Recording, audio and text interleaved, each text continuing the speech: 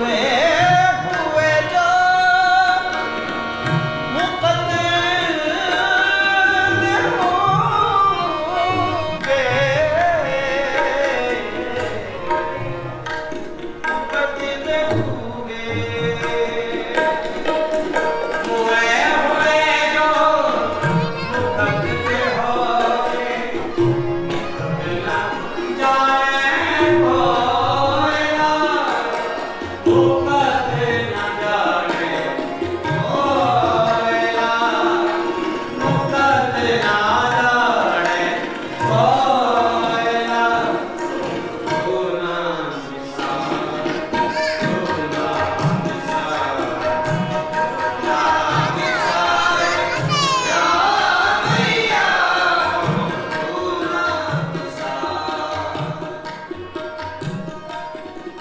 जो बोले सो निहाल सत श्री अकाल।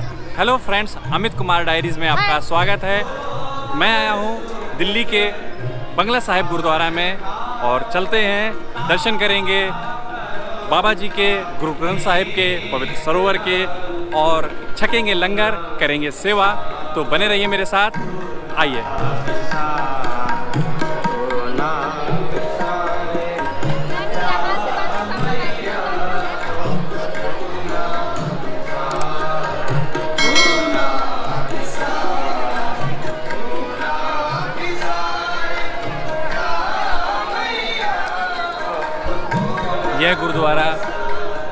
आठवें गुरु श्री हरिकिशन साहब जी से संबंधित है। श्री हरिकिशन साहब जी जब दिल्ली आए तो राजा, उस समय दिल्ली के राजा जय सिंह थे। उन्होंने उन्हें इस स्थान पर ठहराया।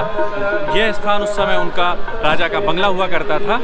तो वो यहाँ पर रहे। उस, जब श्री हरिकिशन जी आए, तब उनकी उम्र महज आठ वर्ष की थी और रानी ने उनके आत्मिक बल की परीक्षा लेने के लिए दासी का बेस बना करके, दासियों के ग्रुप में जा करके बैठ गई, लेकिन हरि किशन जी, गुरु साहेब ने उन्हें पहचान लिया और वे जाकर उनकी गोद में बैठ गए।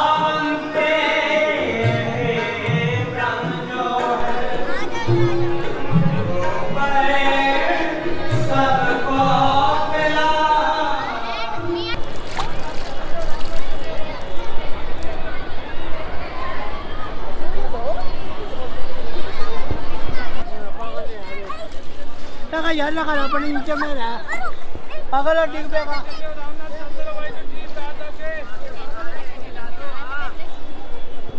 मुझे नहीं दिखाई दे रहा वो साडी की गलती भाई सरोवर के चारों तरफ़ खुला एरिया है वहाँ जो बरामदे हैं वहाँ पर लोग रुकते हैं रात गुजारते हैं बहुत सारे लोगों की मान्यता रहती है इसलिए लोग यहाँ पर रात गुजारते हैं।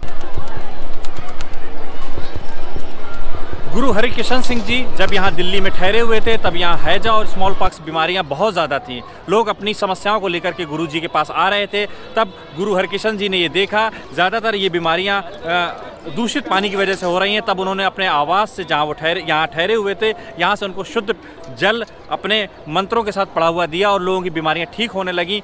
उसी दौर से ये परंपरा चली आ रही है। जब भी लोग यहाँ आते हैं दिल्ली तो अपने साथ में वो कहीं से भी हों अपने साथ में यहाँ का पवित्र जल ज़रूर ले जाते हैं और इस सरोवर के दर्शन ज़रूर करते हैं। चलना ध्यान से चलना जी साथ संगत जी धीरे धीरे चलना जी।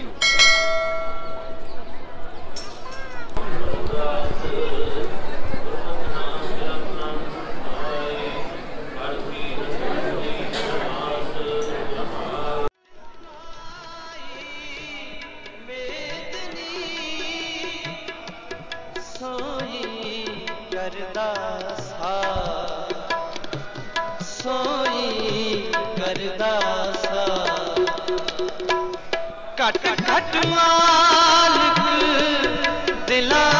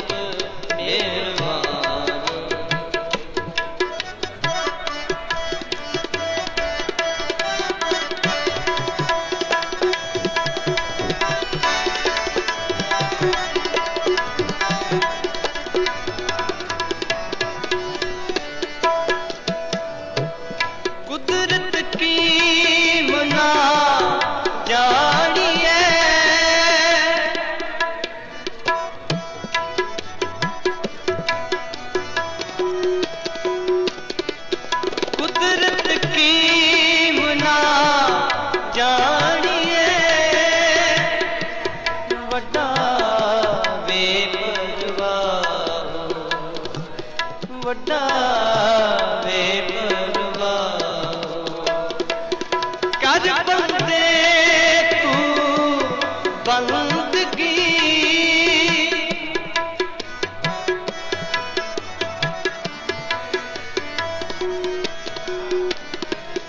ਕਰ ਬੰਦੇ ਤੂੰ ਬੰਦਗੀ ਜਿਚ ਕਟ ਮੈਂ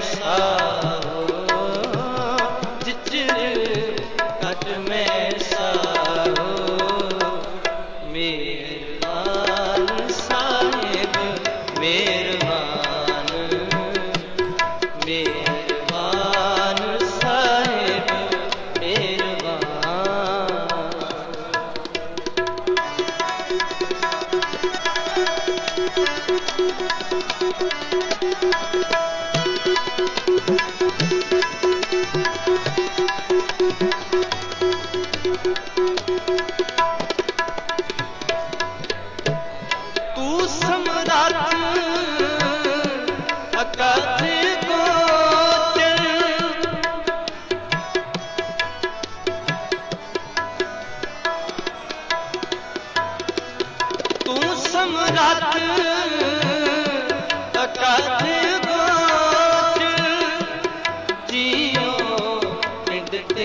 Krishna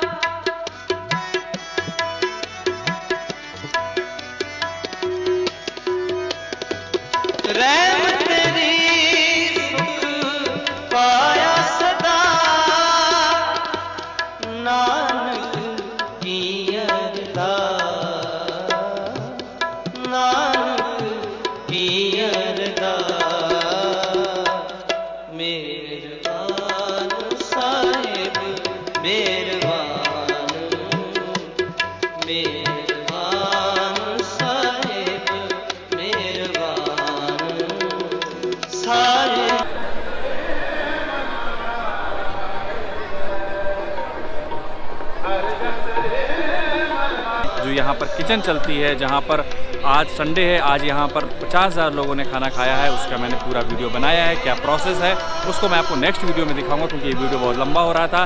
तो यहाँ पर दीजिए इजाज़त, मिलेंगे उस अगले वीडियो में, तब तक के लिए बाय बाय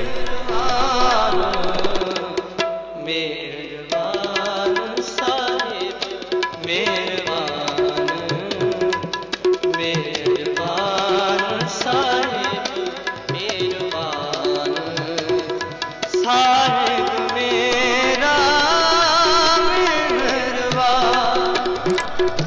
ਸਾਹਿਬ ਮੇਰਾ ਮਿਹਰਵਾ ਮਿਹਰਵਾ ਸਾਰੇ ਮਿਹਰਵਾ